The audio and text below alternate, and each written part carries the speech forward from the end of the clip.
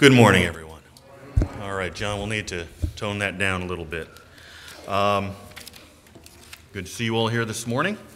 We had a uh, wonderful time in our discipleship class.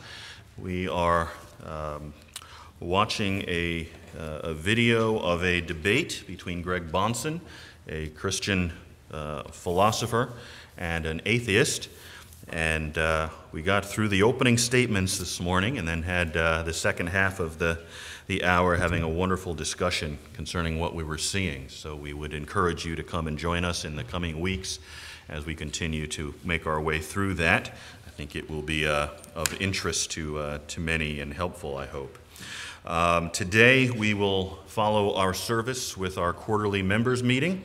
So if you are a member of Red Mills Baptist Church, please remain with us for uh, a few minutes and uh, take part in, in uh, fulfilling our mutual responsibilities in, uh, in this fellowship. On the 25th, just be reminded there that we will have another Going Deeper session and our uh, church luncheon following the service on the 25th. And then, of course, uh, Good Friday and Easter are on their way as well. Um, Continue to keep in mind all of our brothers and sisters who uh, have prayer requests in your bulletin. Pick up our prayer sheet out in the foyer that will give you a lot more to be praying about throughout the week. Um, there is a pamphlet that was put in the bulletins a couple of weeks ago and is now out in the foyer uh, entitled How to Get the Most Out of Your Pastor's Preaching. Um, and I, I saw that and I thought that was very, very helpful. So if you haven't gotten one of those, pick one up. I think it would be helpful in um, preparing us uh, to receive the Word of God Sunday by, by Sunday. Um, our food pantry is uh, dwindling again. There's been a lot of need, as I'm sure you can imagine, and uh, we've been meeting those needs, but we always need to be replenishing. So if the Lord lays that on your mind as you're out shopping for your, your own household. Pick up a few extra things and drop them off here for the food pantry. James chapter 4, verses 8 to 10,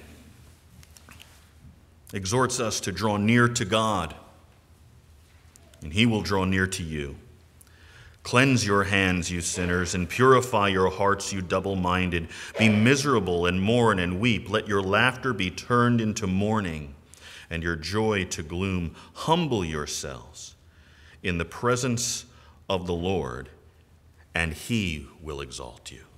Father God, we desire that you would exalt us. Exalt us today as we come into your presence, Father. Lift up the hearts and the minds of your people that we might worship you with joy.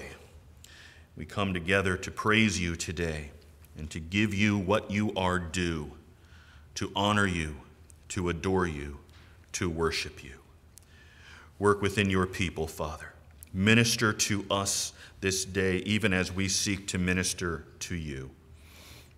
Open our hearts to the truth of your word that we might be changed. Work within the hearts of those here today, Father, who do not know you, or perhaps, Father, those who believe that they are Christians, but the reality is that they are trusting in something other than Jesus Christ. In every case, Father, in the heart of each and every person, work your will to your glory. For Christ's sake, amen.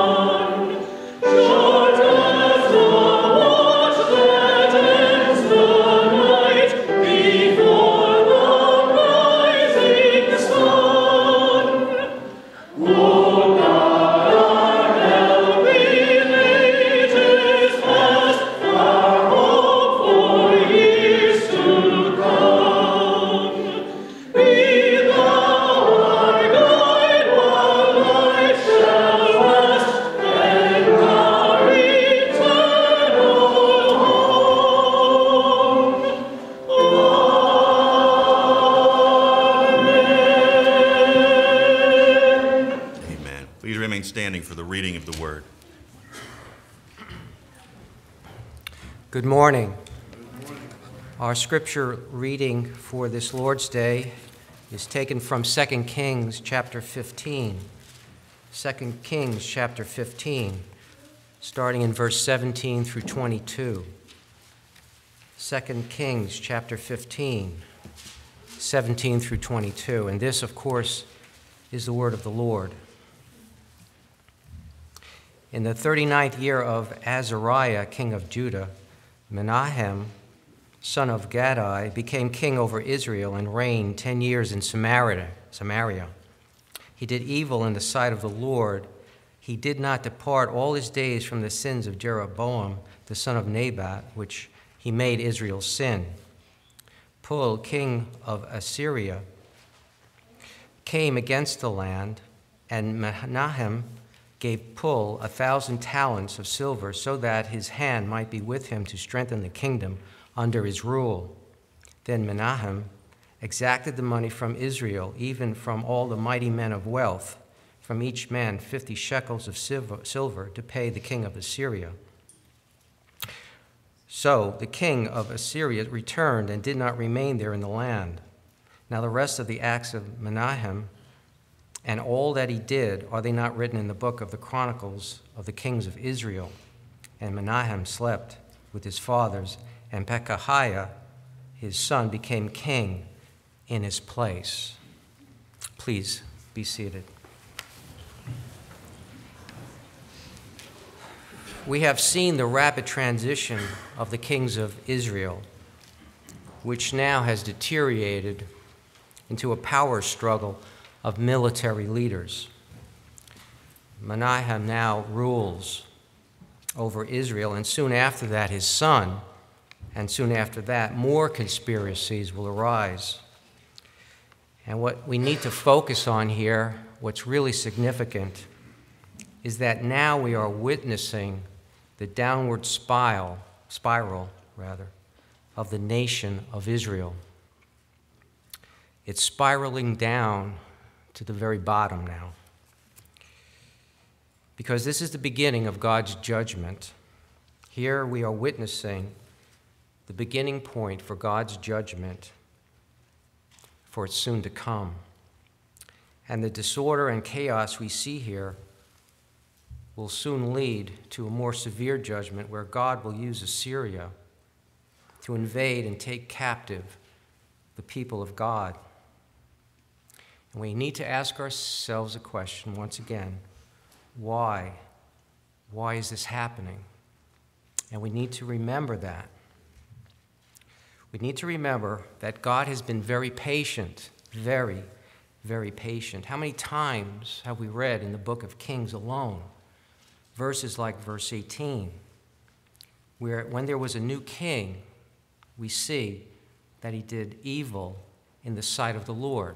How many times have we seen that? In fact, if we do our research and our study, there's only been a handful of kings in both Israel and Judah, the northern kingdom and the southern kingdom, where there was a good king. And at this point, unfortunately, Israel will never be the same. Never the same independent nation, that unified nation that we saw under David and Solomon, a nation that was distinct from all other nations because they were supposed to be God's, king, God's nation, the people of God. In fact, the truth is that Israel was already lost long ago. The people, people were already taken captive long ago. Because why? Their hearts loved the sin and the gods of the pagan nations around them. That is very, very clear. Like the ungodly, they did not seek after God. They did not seek after him for his deliverance from sin. As a matter of fact, they embraced sin. They made deals with the world and they became like the world. And now their future will be only captivity and slavery. Slavery, and they will become like the world they truly loved. And what an irony it is that God took them out of Egypt from that slavery into the promised land, and now they're headed back into slavery. So, do we just leave it here? Is this the end of the story? And what application can we get from this? Well, we can't leave it there because God doesn't leave it there. Israel's story is really the story of the world.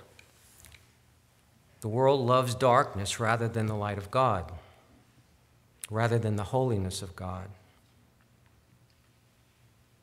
So, is there any hope? Does God give us any hope? Of course, He does. And where do we see that in this scripture? Well, if we look very hard, we'll find it.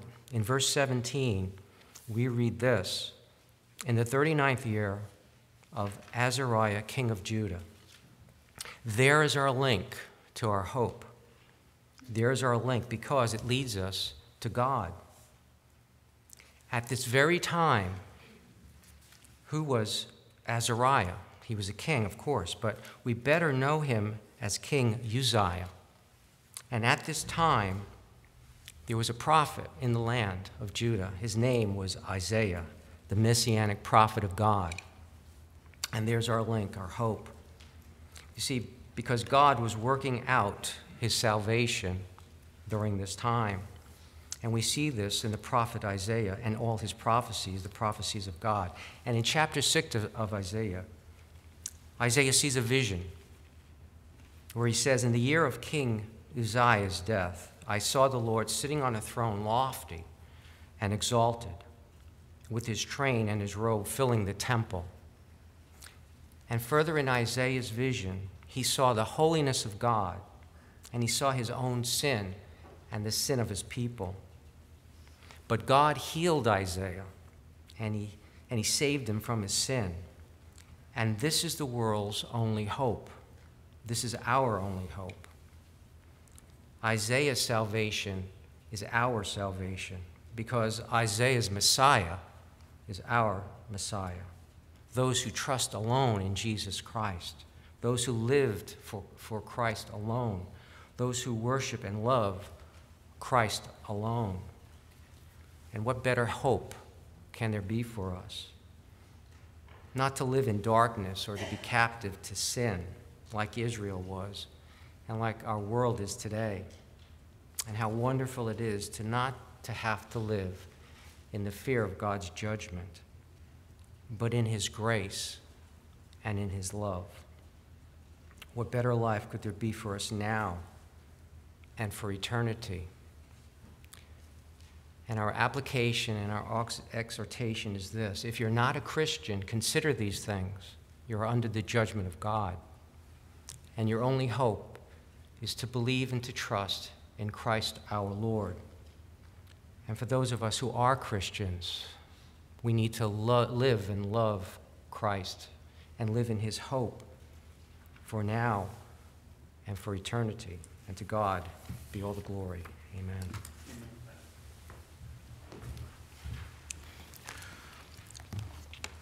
Our God and Father, you are a God of grace. And so many of us here this morning have experienced that grace. We have heard your word, we have heard the gospel. Your spirit has moved within us to receive that gospel, to believe it, to trust in Jesus Christ and all that he has done in order to redeem us from sin and to reconcile us to you. We are your people. And we come to you this morning because you are a God of grace, and you will receive your people as we come to you in the name of Jesus Christ.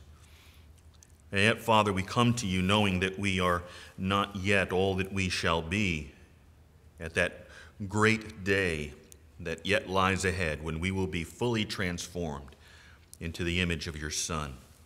We still, Father, in this world, in this life, struggle with sin. We struggle with our own flesh. We struggle with the world around us. And though we know the power of the gospel to change lives because we ourselves have experienced that change, Father, so often we find ourselves with our mouths closed when opportunity comes to share that great grace and redemption with others. We pray, Father, that you would forgive us for this. And we pray that you would embolden us to take forth your word, to communicate this great gospel which alone has the power of salvation. Father, we pray that you would help us to see the lost as they truly are, as you see them. We pray, Father, that we would be moved to hold out to them the only hope that exists the gospel of our Lord Jesus Christ. We thank you, Father, for your word, which expresses the great grace and value of the gospel and knowing you. As Paul says in Romans 11, oh, the depths of the riches, both of the wisdom and knowledge of God. How unsearchable are his judgments and unfathomable his ways. For from him and through him and to him are all things. To him be the glory forever. And Father, our hearts resound with this. To you be the glory forever and ever and ever. Amen. Please take your Bibles once more and turn with me to Psalm 130 this morning. Psalm 130. Again, we are reading through the Psalms. We are in the section of the Psalms called the Song of Ascents. These are the Psalms of Ascents. These are what the people of God sang making their way up to Jerusalem. We come to Psalm 130 this morning. Out of the depths I have cried to you, O Lord, hear my voice. Let your ears be attentive to the voice of my supplications. If you, Lord, should mark iniquities, O Lord, who could stand? but there is forgiveness with you that you may be feared. I wait for the Lord, my soul does wait, and in his word do I hope. My soul waits for the Lord more than the watchman for the morning. Indeed, more than the watchman for the morning. O Israel, hope in the Lord. For with the Lord there is loving kindness, and with him is abundant redemption. And he will redeem Israel from all his iniquities. Oh, Father, what a wonderfully encouraging word from you this morning. For we know that we could not stand before you should you mark iniquities. We would be destroyed in a moment. And yet, with you, there is forgiveness. And the result of that, the psalmist says, is that you may be feared, you may be reverenced. And certainly, Father, your people come to reverence you today, to proclaim your great glory, to revel in the redemption which is ours. What a great God you are. Father, we thank you that with you there is abundant redemption. With you there is loving kindness. And because we know these things to be true, we obey the exhortation of the psalmist to hope in you. You are the one in whom we place all of our hope, for you are our great Redeemer. You are the one who is calling a people for yourself out of this world, out of every tribe and tongue and people and nation. Oh, Father, what a glorious thing it is that you have done in offering redemption to a people that were rebellious, to a people that were your enemies. And yet, Father, you accomplished it. Through your Son, Jesus Christ, all that needed to be done has been done. This is the gospel that we proclaim. And we thank you, Father, that you have given us the privilege of proclaiming it. We thank you, Father, that you are a God who is faithful to your people. And because of that, we can and do hope in you. We pray for our brothers and sisters, Father, who are struggling this morning. We know that there are many who are facing physical difficulties. We pray, Father, that they would keep their eyes upon you and that you would accomplish all of your good purposes in and through the experience of suffering that they are undergoing even today. We pray, Father, for those who are in need of a job or finances. Father, we thank you that you have promised that you will care for your people and we pray that each one would place their hope not in the government, not in uh, the job interview that's coming up, but that they would place their hope in you. We pray, Father, for those of us who are raising children. Father, sometimes we look upon ourselves and we realize how unfit we are and how often and in how many ways we fail, and yet it is because of that that we hope in you. May your grace take up where our failures lead off. And may our children, Father, be raised to know you and to worship you and to glory in you, to see the beauty of Christ in your word, to see the beauty of holiness. We pray, Father, for our church, that you would continue to sustain us and to protect us, that we would continue to be faithful to what you have called us to do here in this place, that we would love one another. Father, we cannot do these things in our own power with our own wisdom, and so we hope in you. Work in us and accomplish your purposes through us. These things we ask in the name of Jesus Christ, our Savior and our Lord. Amen.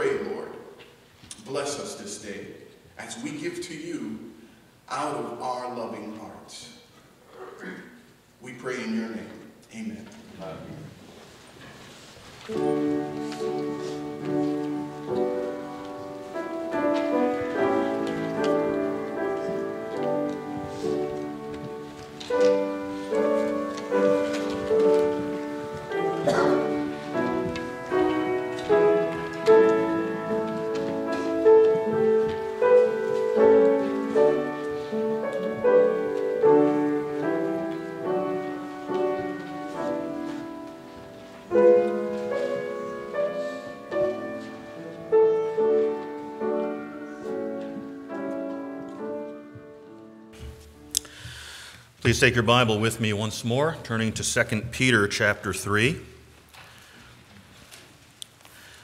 2 Peter chapter 3, we'll be looking this morning at verses 8 through 10.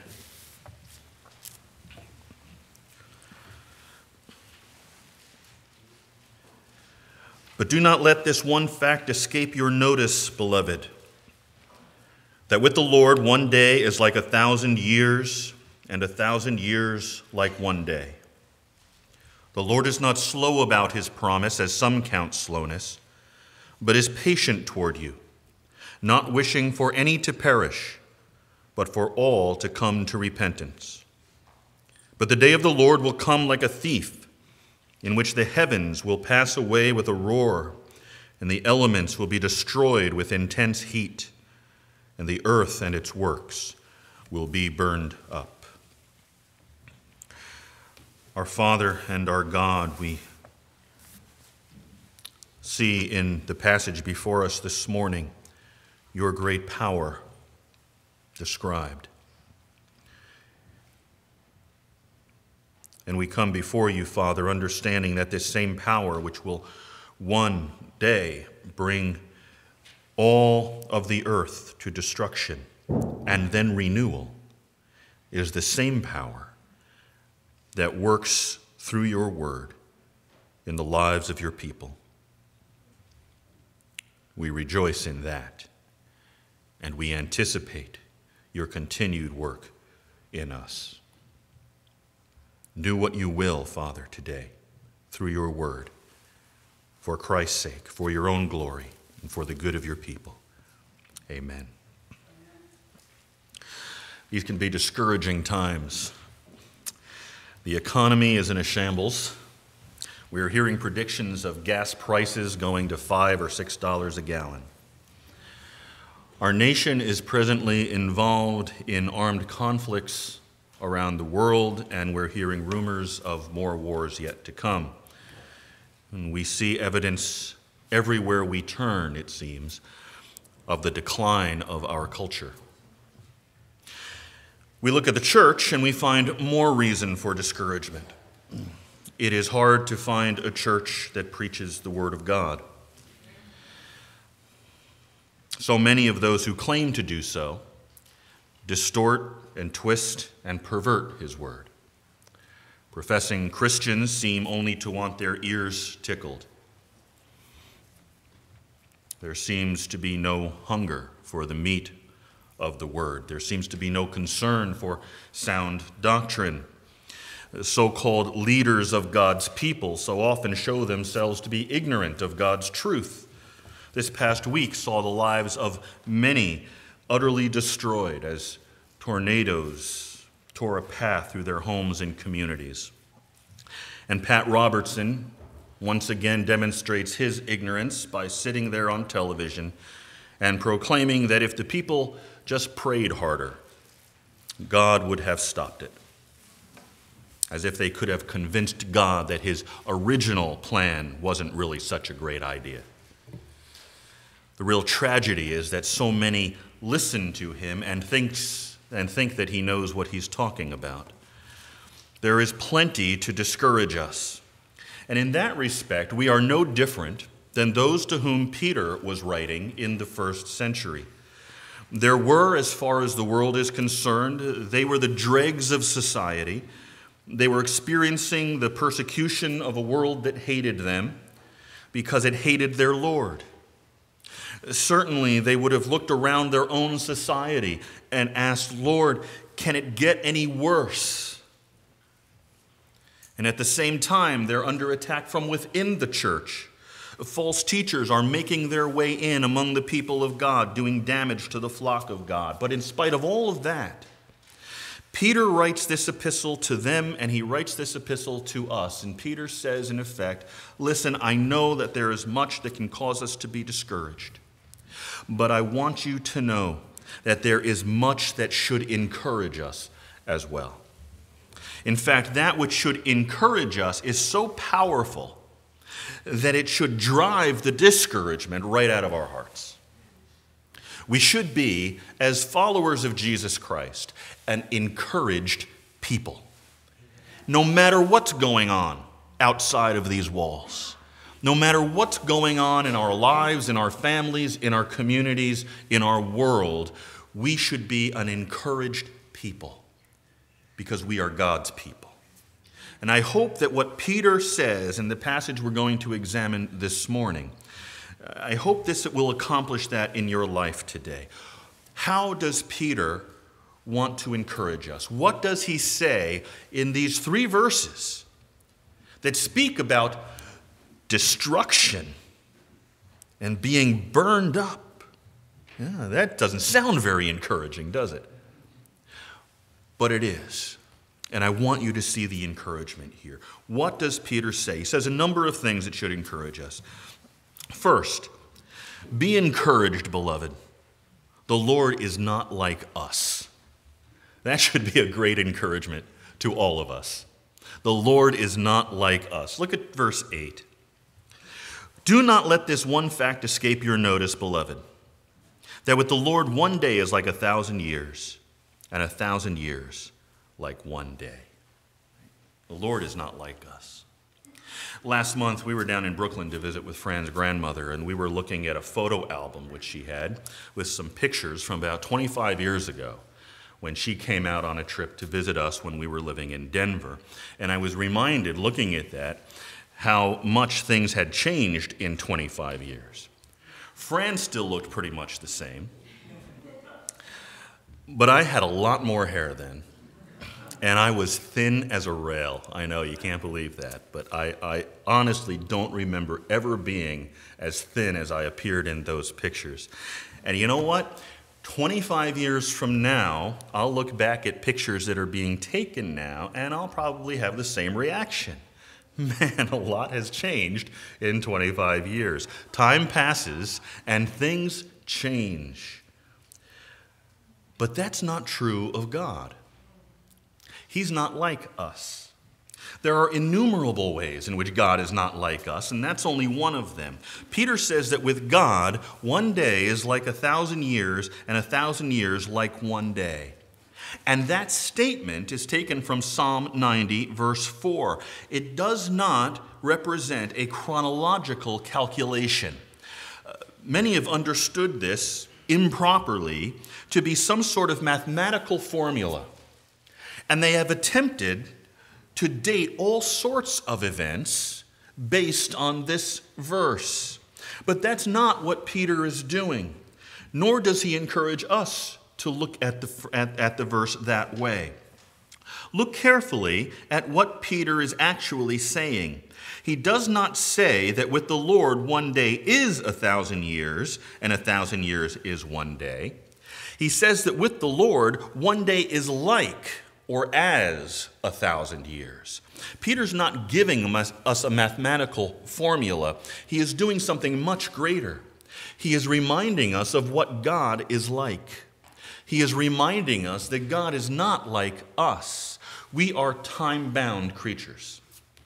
To us, time is relative to our own lifespans. We live 70, 80, 90 years, and to consider much beyond that is a real stretch for us. But God is not limited by our perceptions of time. And when Peter writes this, he does so to encourage the believers to whom he is writing and to encourage us in turn. He's telling his readers not to be upset by the charges of these false teachers. He's reminding them of the fact that in the purposes of God, a delay of even a millennium is, from his standpoint, like no more than the passage of a single day. Therefore, they and we should not be disturbed if we look at our little slice of history, and even if we look at the last 2,000 years and don't see the fulfillment of his coming. We ought not to be disturbed by that. We ought not be discouraged by that. God knows what He's doing. God surveys the entire scope of history and sets the time of events in accordance with His purposes. Purposes that He has decreed not in time, but before time, in eternity past and he will accomplish each and every purpose that he has decreed. And he will accomplish them at exactly the right time. This is a great truth for us to understand. It helps us to endure life in this world. It helps us to endure trials and suffering, much like it was intended to help the believers in the first century. I was reading through Genesis and had to stop when I read Genesis chapter 41, verse 1, which says, Now it happened at the end of two full years that Pharaoh had a dream. That statement occurs in the context of Joseph being in prison. He had correctly interpreted the dreams of Pharaoh's baker and the cupbearer and as the cupbearer went out the prison door, Joseph pled with him to remember him before Pharaoh so that he could get out of prison. But the cupbearer never did that. And so Joseph is stuck there in prison, charged falsely. Right? He's been imprisoned unjustly. And there he is, and he must have prayed every day Lord, get me out of here. I shouldn't be here. I obeyed you. I resisted Potiphar's wife. I'm imprisoned unjustly. How long, O Lord? Now it happened at the end of two full years that Pharaoh had a dream. Two years. Why couldn't it be two days? Two weeks, two months would have been better. Why does God wait two full years? We don't know. We don't know God's reasons, but Joseph trusted in God's sovereign control of all that had happened to him so that later he could affirm to his brothers, You meant evil against me, but God meant it for good. God had also, also had a sovereign purpose when he kept Jacob's descendants in as slaves in Egypt for 400 years. 400 years is an awfully long time to be making bricks. But there they were. And from God's perspective, according to Peter, it's less than half a day. I don't think that would encourage the Israelites very much. But it was 400 years from the last of the prophets also to the birth of the Messiah. But as Paul wrote in Galatians chapter 4 verse 4, when the fullness of time came, God sent forth his son when the fullness of time came, when the schedule was right. He was right on time. And Peter is applying this truth to us as we await the return of Christ, when he will judge the wicked and reign over the universe in righteousness. And it seems as if he will never come. But it's only been two days since he's been gone. So, Peter's point is that Christ's return seems delayed, but only because God's perspective on this is radically different than ours.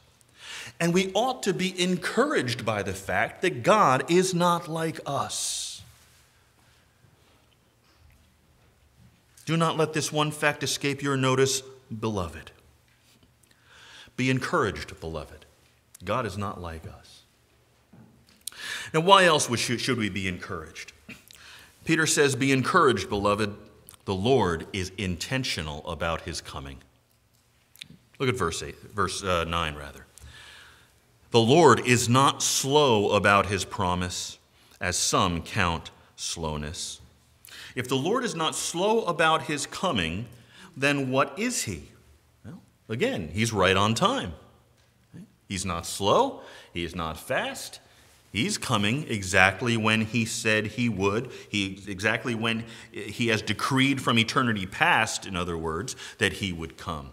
He's coming right on time according to his schedule, not ours. Whether we talk about the coming of Christ or any other event, the Lord is always on time. Certainly, this was the case in regard to his first coming. That's what Paul said in Galatians 4. We quoted it already. In the fullness of time, God sent forth his Son, born of a woman, born under the law. He came at just the right time when he was born in Bethlehem as the suffering Savior, and he will come at just the right time when he comes through the clouds as King. And whether you perceive it or not, every event and every detail in your life comes at just the right time as well. Right? Every trial, every illness, every deliverance, it comes at just the right time. You may not understand that because you don't see what God is doing through these things. But God knows what He's doing, He has a purpose in it. He has a purpose in your illness. Perhaps He has a purpose in your unemployment. You lose your job, it's just the right time for you to lose your job. Strange way of thinking about it, but that's the biblical way of thinking about it. And when you get a new job, it's just the right time. When you get sick, it's just the right time for you to be sick. And when health re- re- returns, it's just the right time for you to be healthy again. And we know this because God works all things after the counsel of his will. All things, not just the good things. We know this because all things, we're told, work together for good for those who love God and are called according to his purpose. All things. So be encouraged, beloved. The Lord knows what he's doing. He is intentional in regard to his coming and everything else that goes on in your life. Why else should we be encouraged? Be encouraged, beloved, because the Lord is patient. That's an encouragement. The Lord is patient.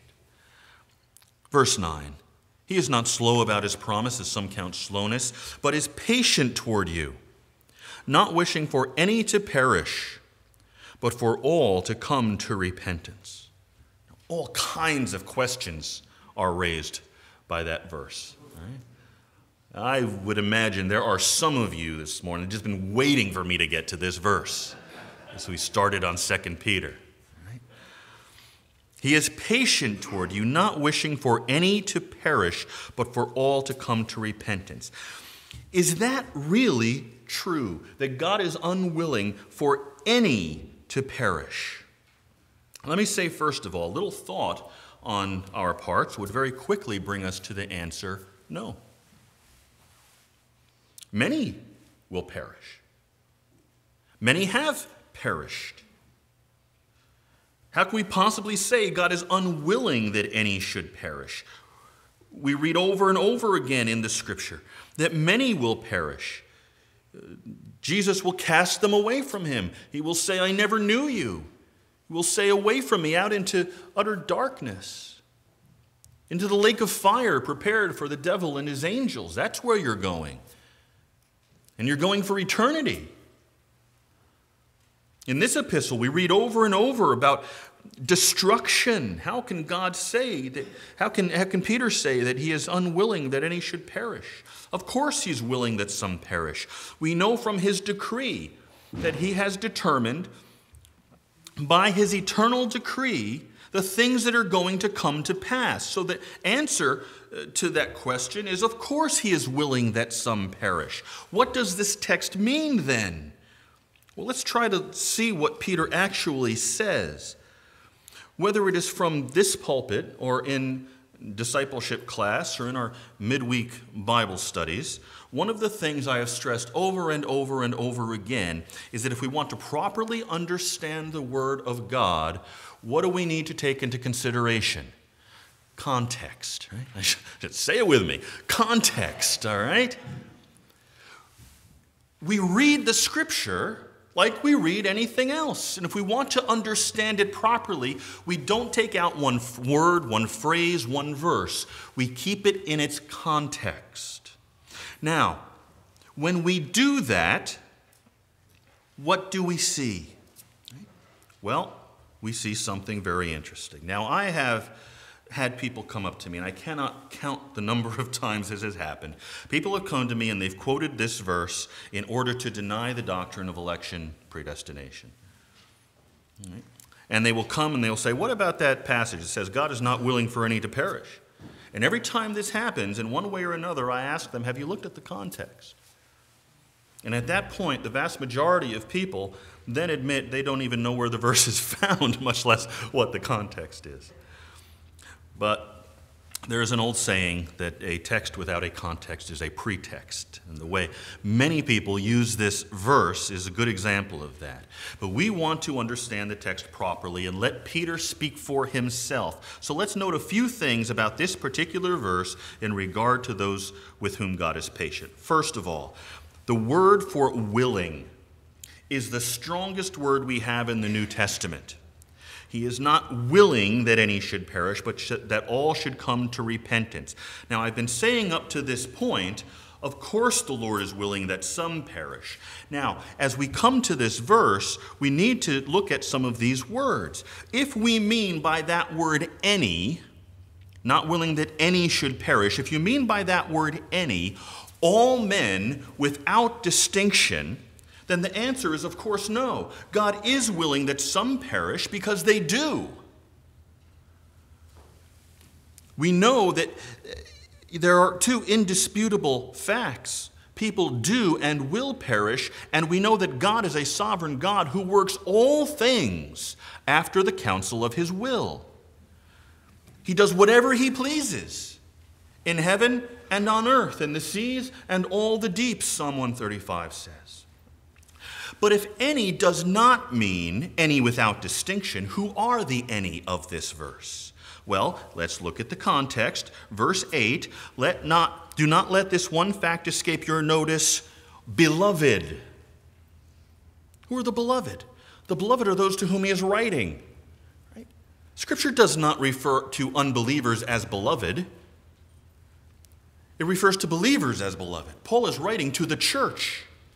He's writing to believers. You can expand this. You can just go back to the first verses of the epistle and see who he's writing to. Simon Peter, a bondservant and apostle of Jesus Christ, to those who have received a faith of the same kind as ours. He's writing to believers. That's who beloved is. And when we come to verse 9, then, we see the Lord is not slow about his promise, as some count slowness, but is patient toward you. A specific group of people. Peter doesn't say he's patient toward everyone, he's patient toward you, the ones to whom he's writing, believers. Peter goes on to say that God is not willing that any would perish. Any who? It sound like I'm from the South, right? Any who? Any who? Any of the ones that he's writing to. Any believers. It's just simple grammar. You go back to middle school English. What is the predicate of any? It is you. You describes who the any are. It refers to believers, the elect, the saved. The any refers to those people. Now understand, I'm not imposing my theology on the text at all. I'm simply reading. Right? We're not trying to impose theology on the text, we're deriving our theology from the text. Now then, is God not willing that any should perish? Is he willing that any should perish? He's not willing that any of the ones he's speaking about in this text should perish. But if you're talking about any people at all, that's a different question. That's not something Peter is addressing here. This is how context helps us. It helps us understand what the author is talking about. We can still ask the question whether or not God loves the unbeliever or loves the unelect, but that's a different question. It's not what Peter is talking about here. Why does Peter give this text? Why does he say that God is not willing that any should perish? What had the scoffers been saying? They'd been saying, Years have passed since Jesus ascended to the Father, and he still hasn't come yet. He must not be coming at all. And so Peter responds and says, First of all, don't you know that a thousand years with the Lord is like a day? But furthermore, don't you know why he's delayed?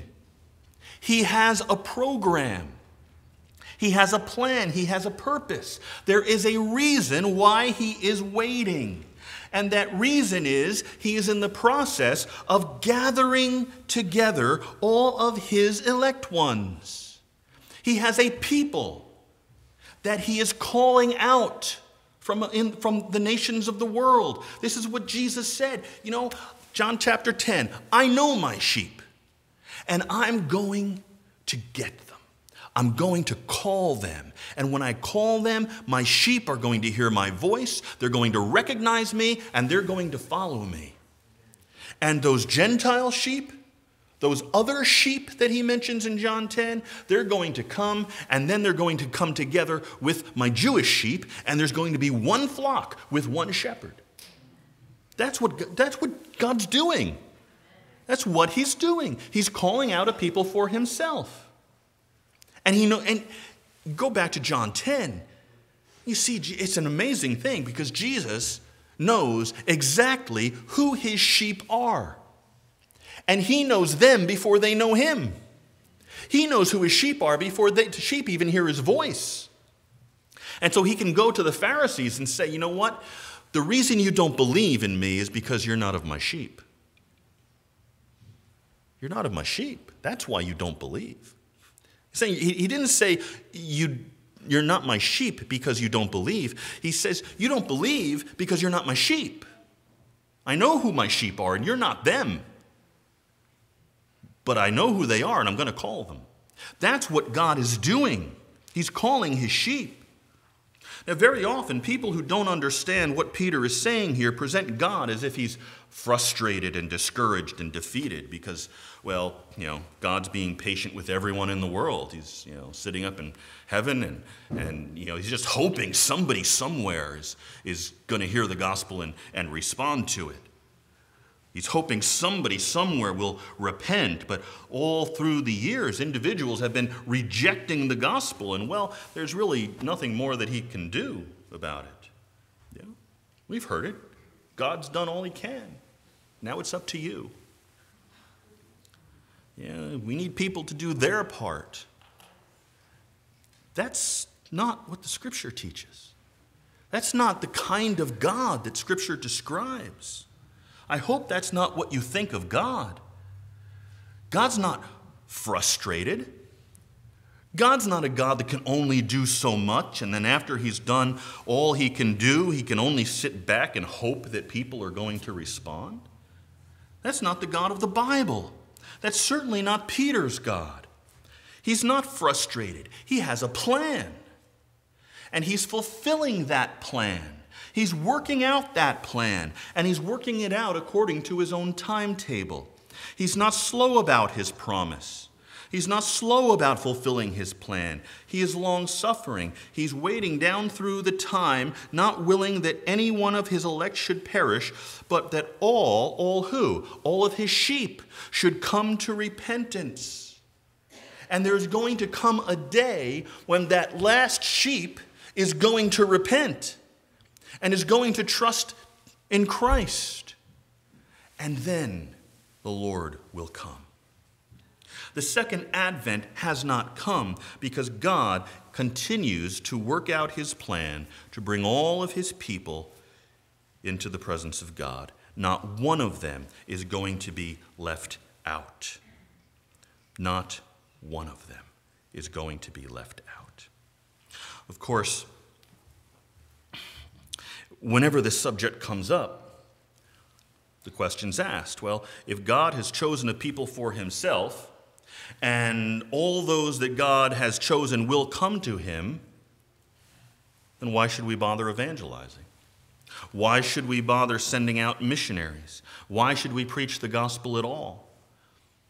And I suppose there's a number of ways to answer that question. First, we preach the gospel because not only has God decreed that he will save a specific people for himself, but he has also decreed that he will do that through the preaching of the gospel.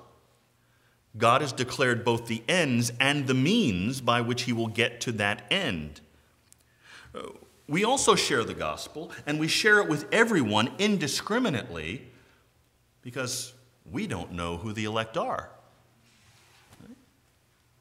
Spurgeon used to say that if the elect had a stripe up their back, then the proper work of evangelism would be to go around raising shirt, shirt tails. and then you could just preach to the right ones. But the elect don't have any distinguishing features like that. And so we proclaim the gospel to all nations. And in doing so, God calls unto himself a people from every tongue and tribe and people and nation. So Peter's answer then is very plain and very clear. Don't you know that a thousand years with the Lord is as if one, is, is as one day? And if you wonder why there has been a delay, it's because God is long suffering and he wants all of his saints to come to the knowledge of Christ, and they haven't come yet. But he's bringing them. His work is being accomplished. He's in the process.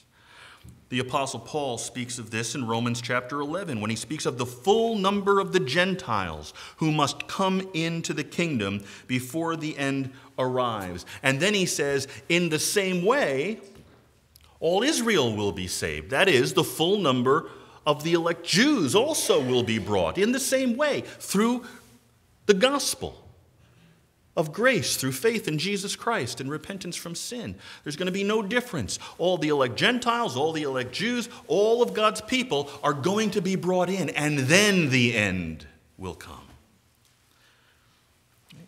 We already spoke about John chapter 10. Go back and read John chapter 10. Jesus is the good shepherd who lays down his life for the sheep. For the sheep, he says.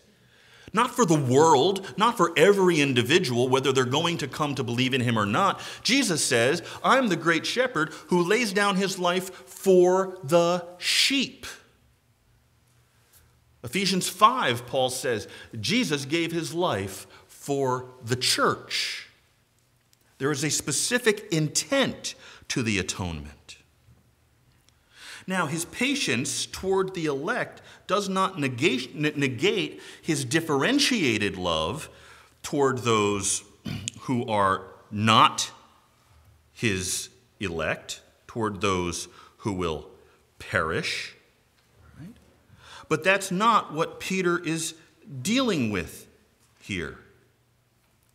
It's not at all what he's dealing with in this passage.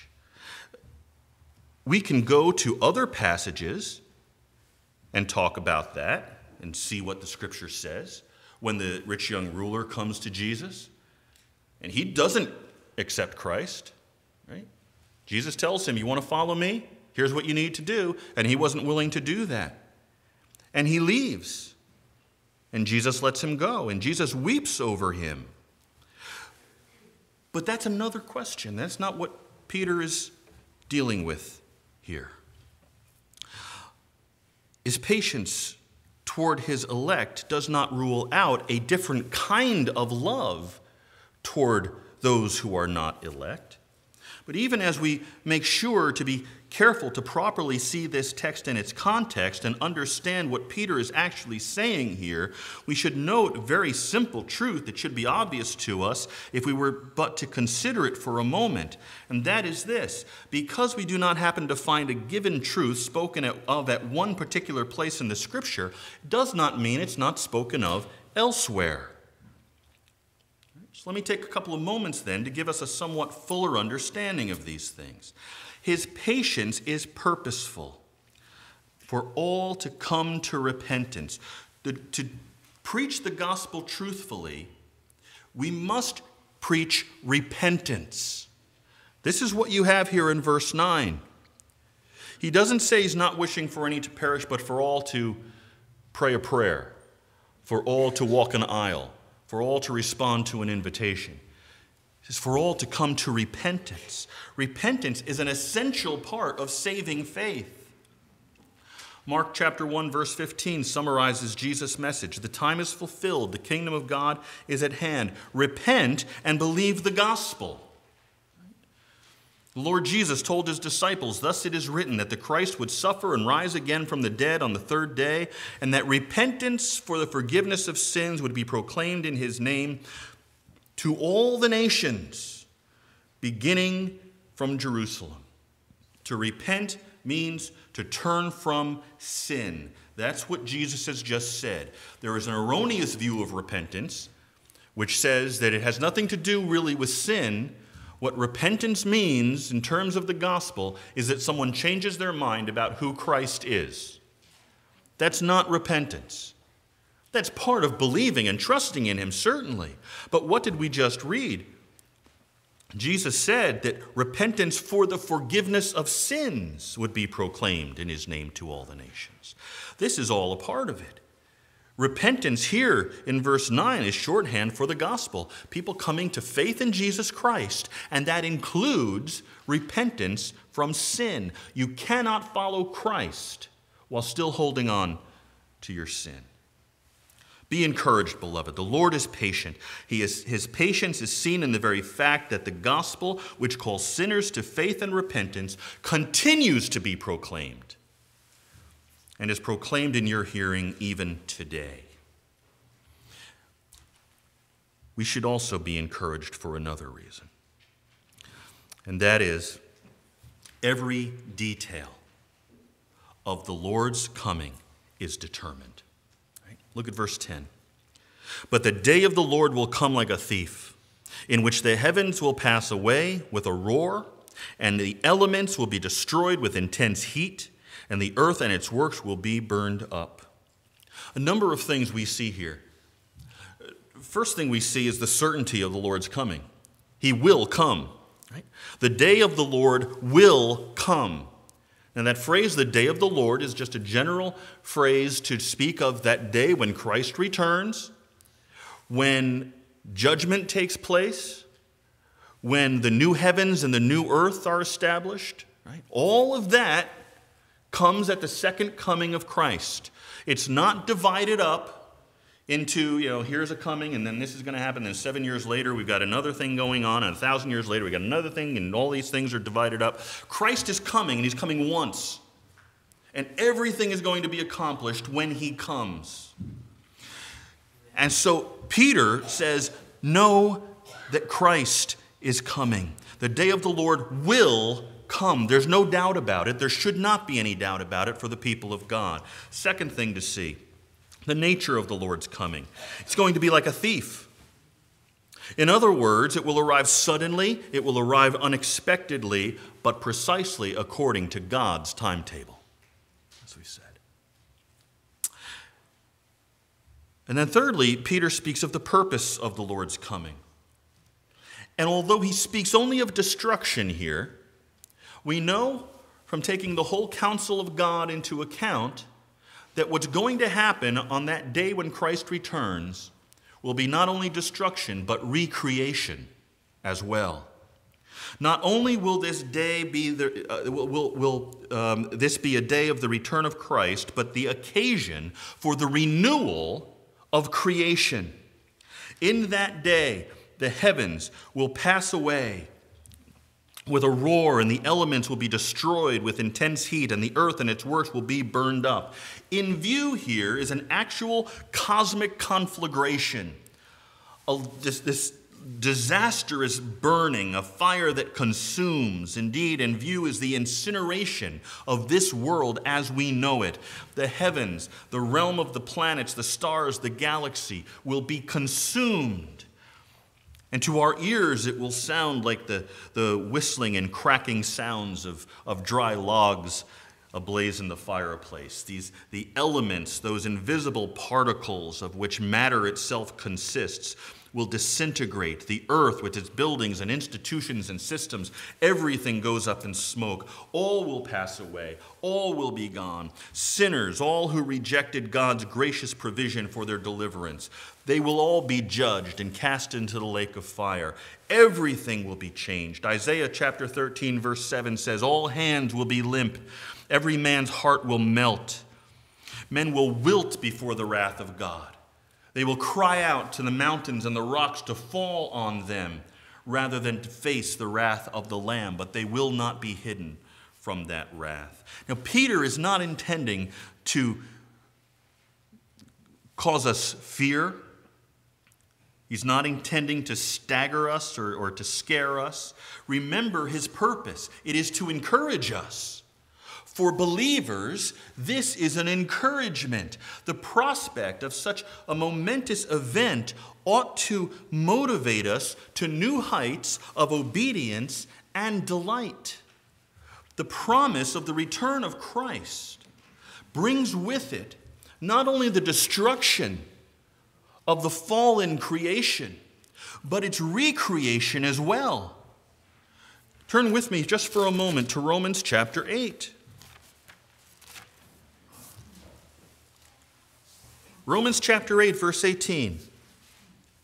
For I consider that the sufferings of this present time are not worthy to be compared with the glory that is to be revealed to us. For the anxious longing of the creation, he's not talking about people, He's talking about the whole creation. The whole creation is anxiously longing for something. What is it?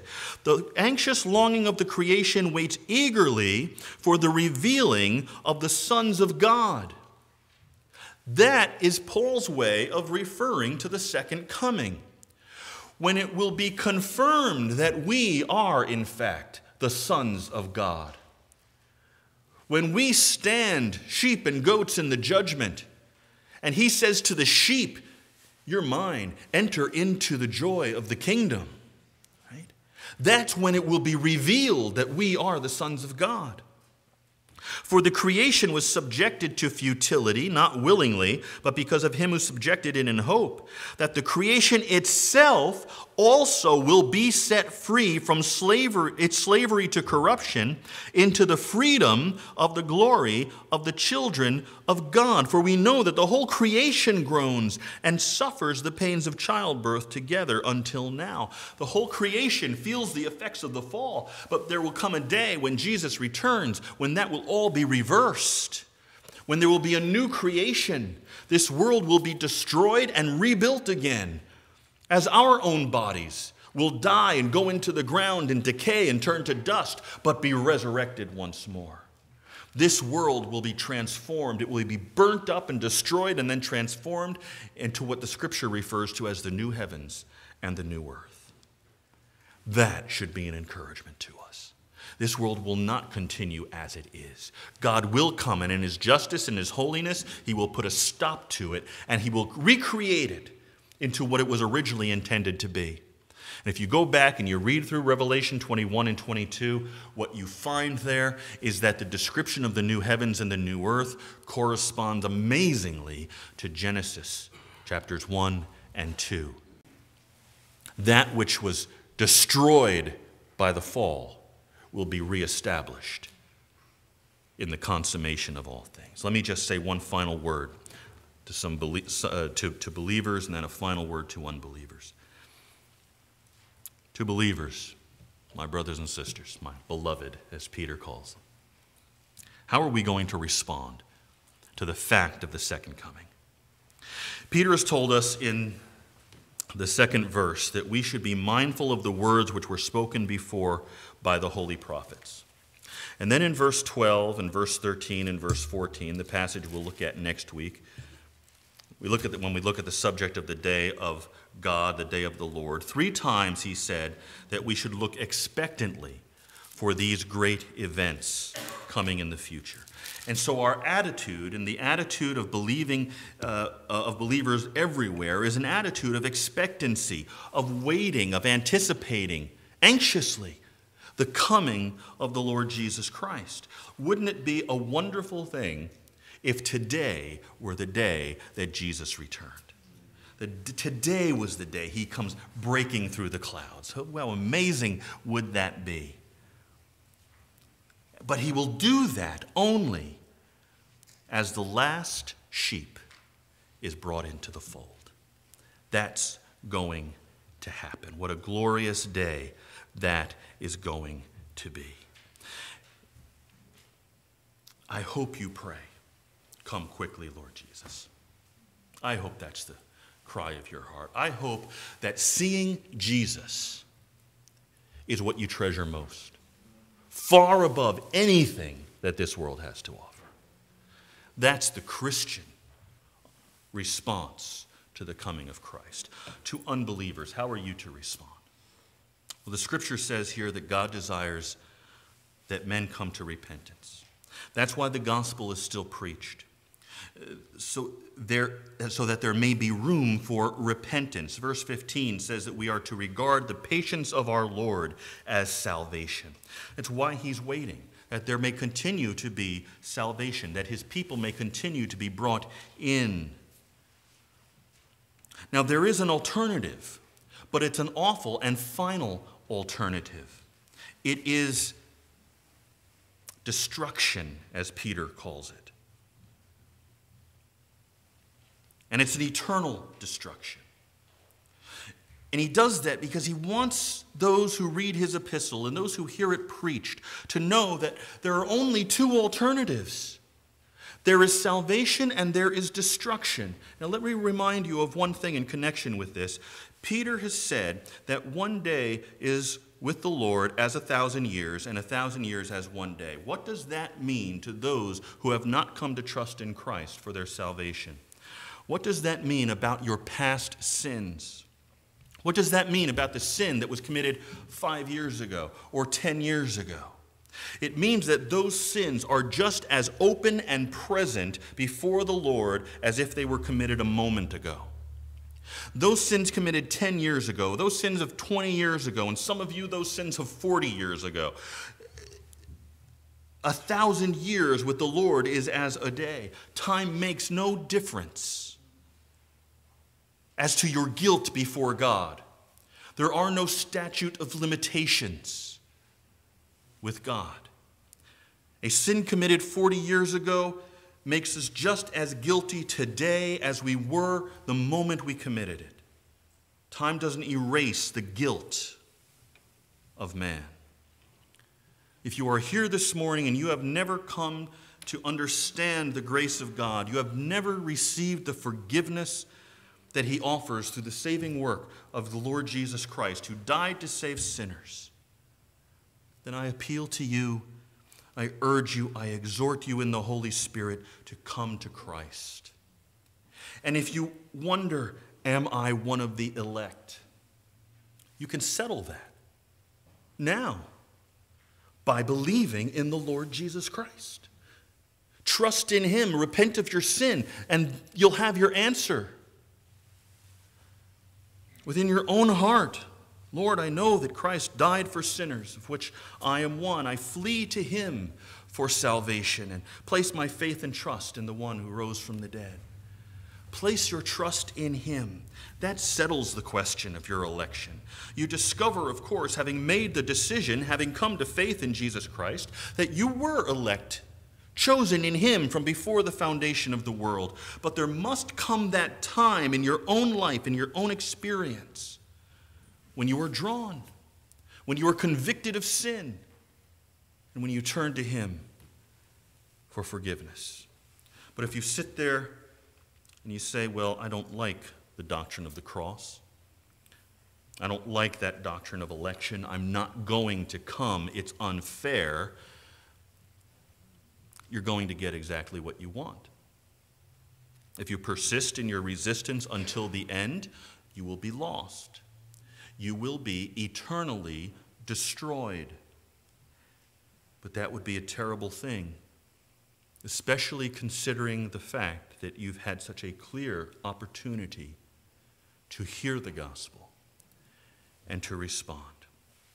May God open your heart. May you come to Christ and in coming receive both eternal life and life abundant in the here and now. And may those of us who are in Christ love his appearing. Let's pray. Father, thank you for your grace. Thank you, Father, for saving a people for yourself. Thank you for your sovereignty. Thank you for your Son. Build your church. Call your sheep that Jesus might come. For it is in his name that we pray, with anticipation. Amen.